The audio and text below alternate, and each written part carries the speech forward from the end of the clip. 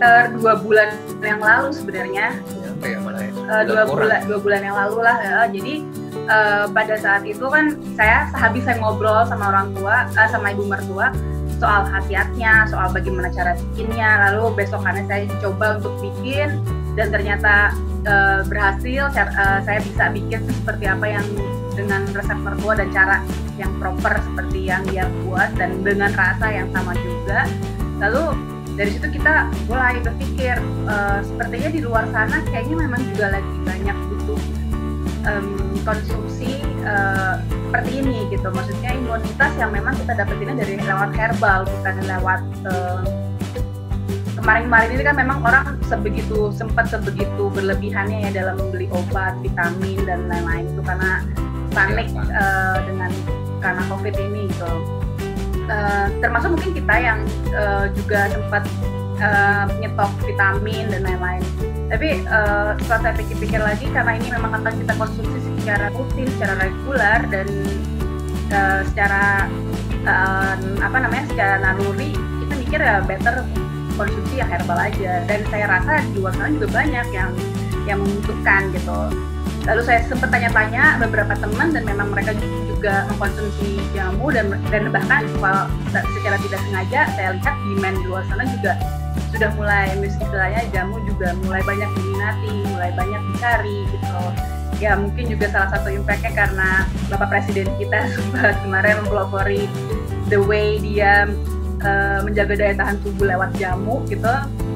Jadi saya ngerasa uh, oh ini sebuah sebuah bisnis yang sepertinya ini bisa menjadi sebuah bisnis yang organik gitu. Jadi yang ya memang secara secara modal kita memang kita punya maksudnya kita tahu cara bikinnya kita tahu cara mengkonsumsinya dan secara demand juga saya rasa di luar sana juga orang banyak membutuhkannya. Ya gitu ya kira kita pelan-pelan mencoba produksi dan mencoba uh, tawarin ke teman-teman dan sebegitu responnya ternyata sebegitu baiknya gitu. Dan karena rasanya pun juga uh, beda dengan jamu yang lain jamu rayu ini bukan seperti apa ya kita bukan seperti sebuah uh, varian-varian jamu gitu. Jadi memang ini resep warisan yang dimiliki oleh ibu uh, mertua saya yaitu ya bentukannya hanya seperti itu bentuknya. Uh, apa namanya? Sorry ingredientsnya cara buatnya. Jadi memang tidak ada varian dan tidak ada opsi lain gitu cara pengkonsumsiannya juga sama gitu. Sebenarnya bahannya sangat sederhana ya. Bahannya itu jahe putih sama bawang cutting. Bawang cutting biar dapat wanginya ibu uh, khasiatnya juga beda ya di bawang putih cutting itu. Terus kita ada uh, cuka apel dan di cuka apel itu kita ada lemon. Dari lemon itu semuanya ditutup sama uh, madu madu asli. Postingannya kita pakai madu royal jelly. 350 ml kita minumnya pakai sendok makan seperti itu. Kayak kita minum jamu eh sorry kayak kita minum madu gitu. Uh, cukup satu sendok makan sebenarnya. Secara secara kebutuhan tubuh sebenarnya hanya cukup satu sendok makan. Karena ini kita uh, proses ini bukan cuma direbus bukan cuma di bukan cuma di di blender tapi ada banyak banget proses sampai dia jadi jadi yang seperti ini gitu ada penggodokannya juga gitu. Dari dari kita blend lalu kita godok seperti itulah. Ber, uh, cukup lama sih bikinnya memang agak cukup tiring.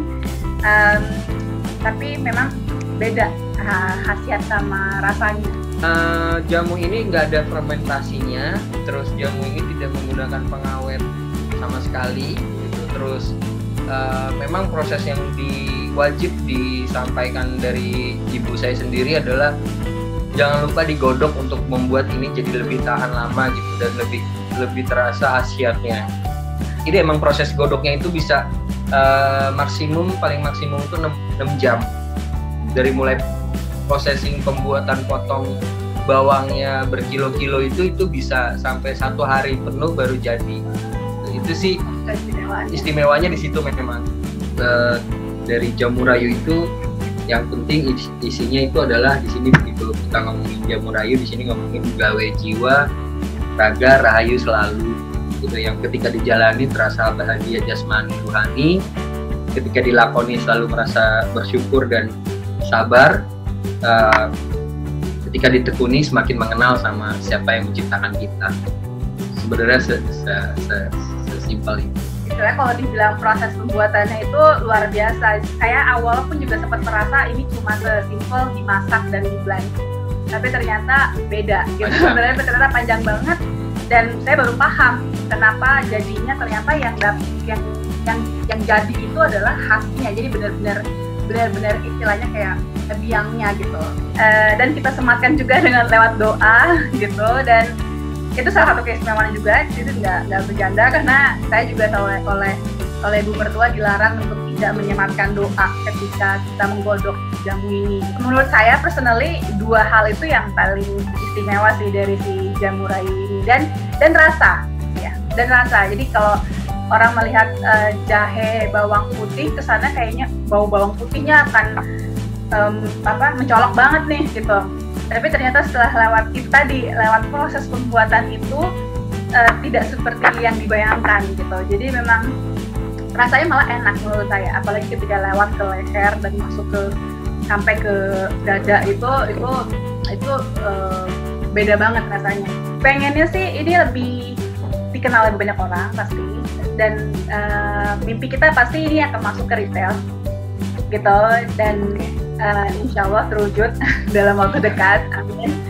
Uh, itu sih ya mimpi kita. Pengen jamu rayu ini diketahui dan bermanfaat untuk lebih banyak orang lagi gitu. Karena kita sendiri sudah benar-benar merasakan manfaatnya.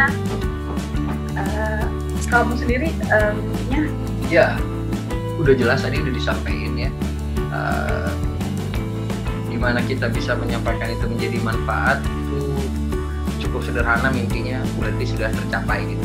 Kalau untuk diikuti dengan retail diikuti dengan kesuksesan atau diikuti dengan yang lain-lain semua juga pengen diikuti sama hal itu ya. Yang paling penting adalah gimana caranya kita ngelakoni ini dengan bahagia gimana kita ngejalanan ini, ngejalanin ini dengan uh, lahir batin nggak kerasa jasmani juga kayak nggak ada ngeluhnya gimana begitu itu sudah ter, dijalani dengan baik mimpi kita sih sederhana ya uh, manfaat ini sampai ke orang yang benar-benar kita rasain manfaatnya buat kita juga gitu. Sesederhana itu kok uh, ya sampai detik ini aja sudah terwujud dengan mimpi ini uh, di teman-teman kita di saudara-saudara kita ngerasain uh, benefit. dari dari khasiat kita ini yang murah ini enggak ada. Kalau saya sih menurut saya selalu pikir positif uh, itu sih yang paling penting karena semua itu uh, apa namanya instruksinya dari hati dan dari pikiran. Karena apa pun yang kita lakukan bagaimanapun preventif kesehatan yang sudah kita lakukan tidak akan efektif kalau hati dan pikiran kita tidak serasi itu sih yang paling menurut saya yang paling penting terutama saat ini ketika segala macam informasi dan apa memborbardir kita gitu lewat segala macam media. Harapannya ya Jamorayu bisa mengkomplit um, kebutuhan dari dari the new normal ini. Jadi um, saya paham maksud dari the new normal karena di sini akan men, uh, akan shifting pemahaman kita terhadap uh, gimana kita menjaga kesehatan gitu. Dan uh, mungkin tidak semua akan uh, kita tidak bisa mem, apa namanya membuat orang masuk ke dalam pemahaman kita gitu tapi saya rasa Jamurayu sudah bisa menjadi media pengantar supaya um, kebutuhan masyarakat saat ini terpenuhi lewat Jamurayu dari uh, proses new normal ini.